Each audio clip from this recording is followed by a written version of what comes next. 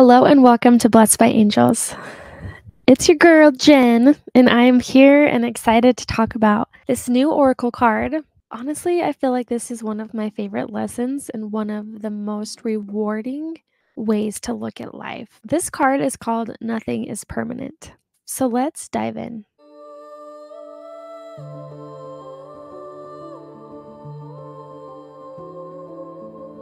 Welcome to the Blessed by Angels podcast. My name is Jen Gilbreth. Ever since I was a little girl, I have felt deeply connected to the angelic realm. Over the years, I have dedicated my time and energy towards delivering messages from beyond. Yes, that's right. I talk to dead people, although I don't necessarily consider them dead. In many ways, they are much more alive than us in this physical realm. On this podcast, I will be channeling messages from Spirit. Whether you tune in each week for the new messages or feel like picking a message at random, this podcast is designed for Spirit to lead you to the messages for you here and now. These messages have changed the way I view and play in life. I hope that these messages can do the same for you.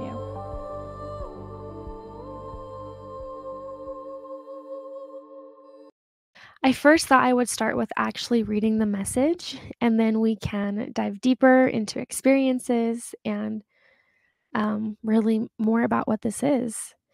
The greatest gift that we can give ourselves and our spirit is flexibility. In the physical world, nothing is permanent. When we over identify with that permanent space, we are doing ourselves and others a disadvantage. We are taught at such a young age that everything has to be so structured. Our spirit came here to explore, to experience this human journey. We live as though everything is permanent. When we spend too much time labeling how life has to go, it cuts us off from experiencing the fullness that this life has to offer. We never know what we are going to get. We never know how long we have. We never know how long someone in our life has.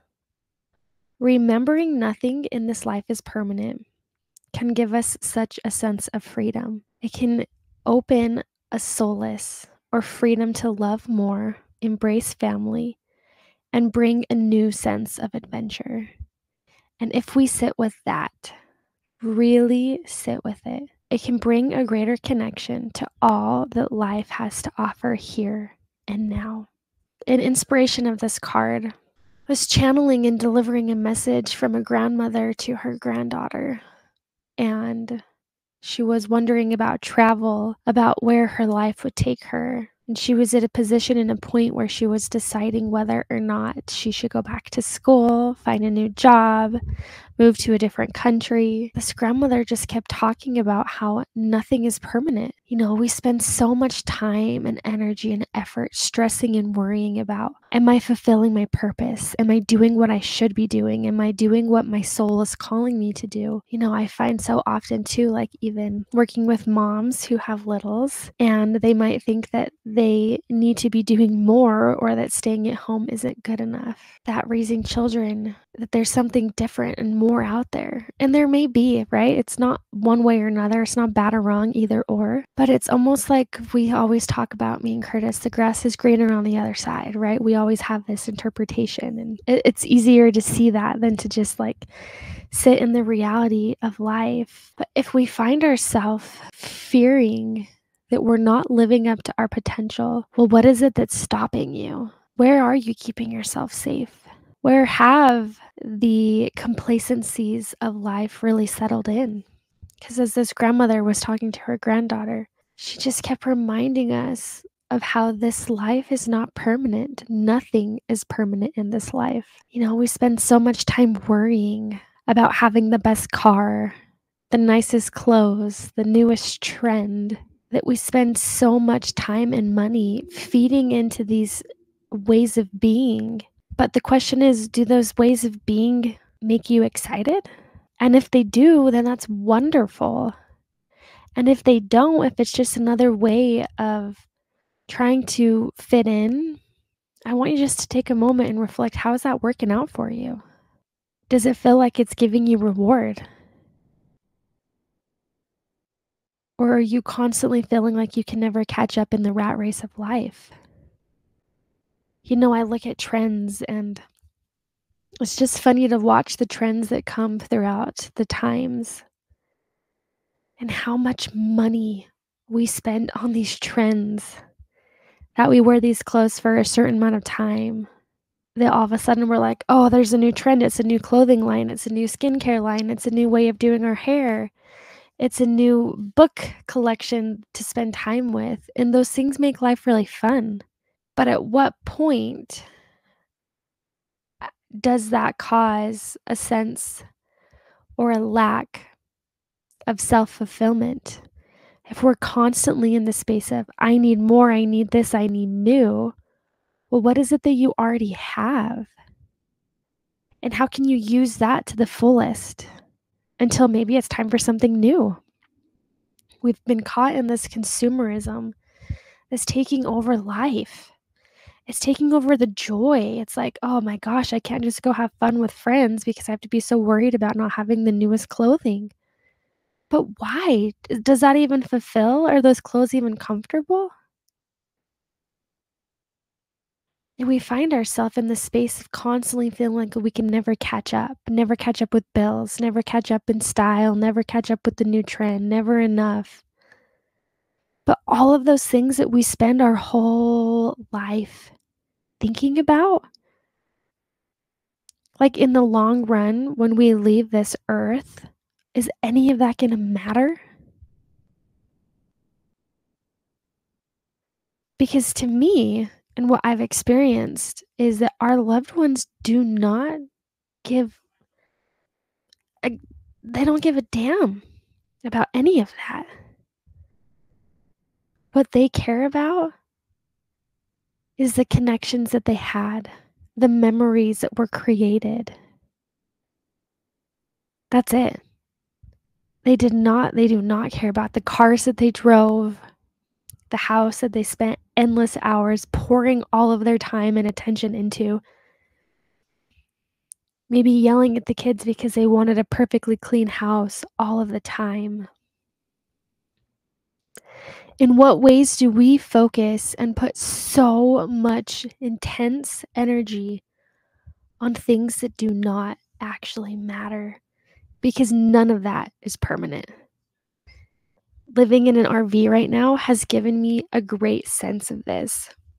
You know, right now we're in this windy fall coming in season, and one night we were going to bed and the whole trailer was shaking because it was so windy. And I just remember thinking to myself, this is my home. Like, this is everything that I have.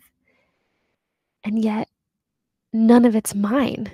I mean, yes, it's mine, but it's not anything that I'm going to carry with me, but these memories. And when we have too much of something, you know, we have started drinking these herbal drinks that we used to drink a lot when we first were married. And um, because my husband was working for that company, we just had a surplus of all of them. And now we're like buying it box by box because, for one, we don't have a lot of space. And for two, it was, we just took it for granted having all of that with us all those years. And I find it so fascinating now because the other day there was a drink that was half full. And I'm like, oh, we need to finish this. We need to finish this because one, we bought it. But two, like, why would we let it go to waste? Where when I had a surplus of that, that wasn't even in my space. And it wasn't out of scarcity, but it was out of like, no, we have this to fuel us. So let's use this.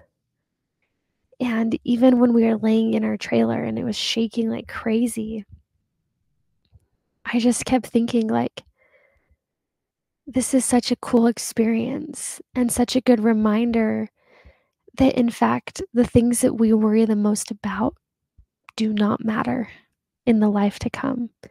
Now, that doesn't mean that we can't, you know, that doesn't mean that we don't pay bills or that we don't, um, have a job or that we don't have stuff clean, right? It doesn't mean that like we just dump everything to shit because that's the opposite of being in this space, but it's more so when we look at life and see that nothing is permanent, we can have greater gratitude for what we have in this present moment. You know, because this morning there were people who their loved ones did not wake up.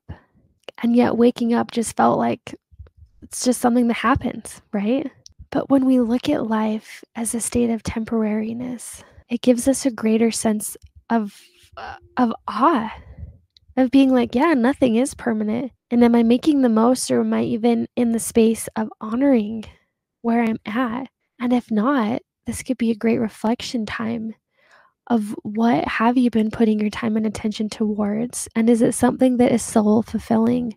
And if it's not soul fulfilling, well, what can you do to put some other aspect in place so that more soul fulfilling experiences can be had? Because we are not promised tomorrow. We are not promised today. We're not promised the next hour. And if nothing we bring with us, and like think about that, we don't bring any of that with us. So, what is our relationship to that? What is our relationship to life? What is it that we want to be doing more of? What memories, what people, what connections are really calling us?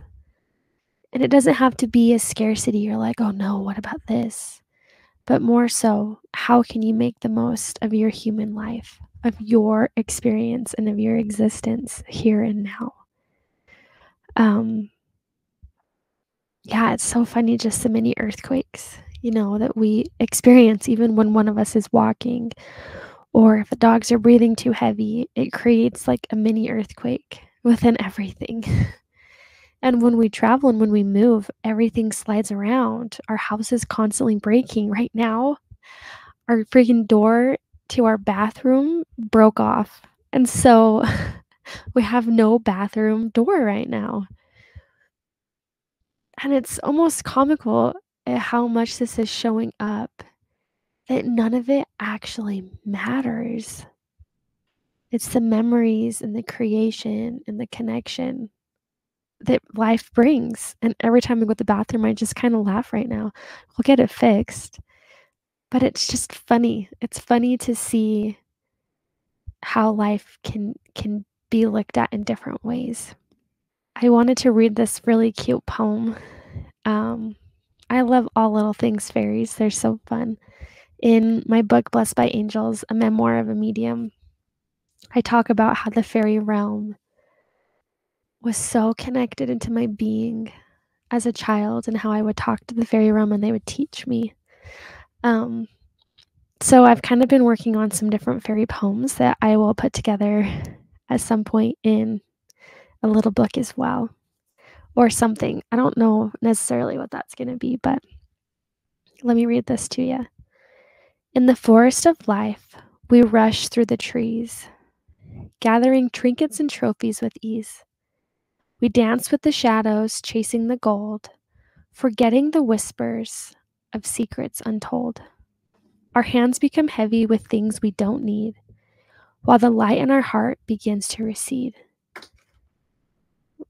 For in all of the doing, we wander astray, missing the magic that slips far, far away.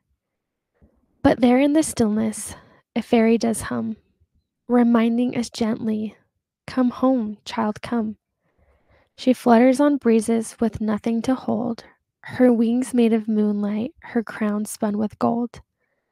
Less she sings softly is where we must start to hear the true song that beats in our hearts. For it's not in the having, the rush, or the race but in the sweet moments where time has no pace. Connection, creation, and growth of your soul. These are the treasures that make you whole.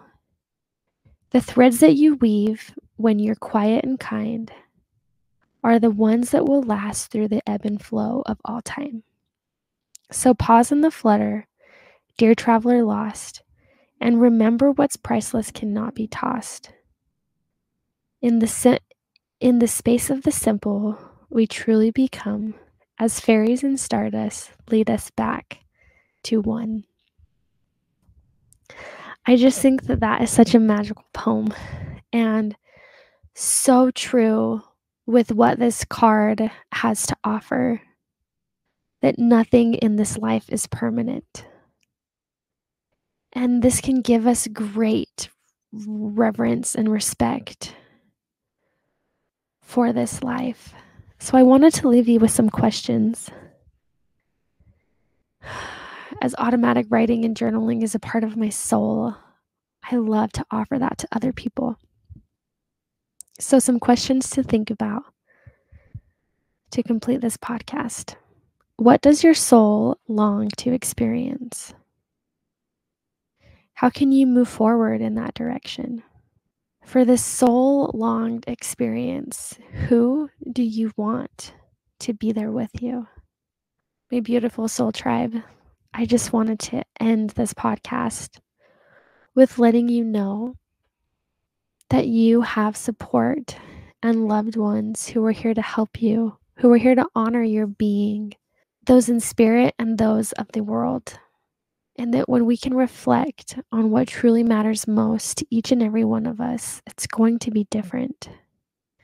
And I don't mean that following the trends is bad and wrong. But what it really comes back to is having a space of abundance. And abundance doesn't come from having a lot, abundance comes from within and experiencing what truly matters and brings magic in life. So, with that, I leave you. I want you to know how grateful I am. If any of this podcast really registered or connected to you, or you feel as though you want to send this to somebody, I would love to have them also experience this message. I thank you and I love you and I bless you. Um, and so it is. Thank you for tuning in to the Blessed by Angels podcast. It is such an honor to deliver these messages from beyond. If you want to connect deeper to your angelic realm and the support team that you have, I have a plethora of resources on my website at blessedbyangels.org. And of course, I'll leave the link in the show notes. You are connected to the divine. Having divine connection is innate ability that each and every one of us have. Before we came here, we were spirit. And after we leave this realm, we are introduced back into the spirit world. So, having spirit to spirit conversations and knowings and understandings are innately and infinitely who you truly are. When we step into this body, we tend to forget. We are not separated from the divine. There is just a lack of remembrance. Thank you so much for being a part of this podcast, and I look forward to delivering more messages from beyond.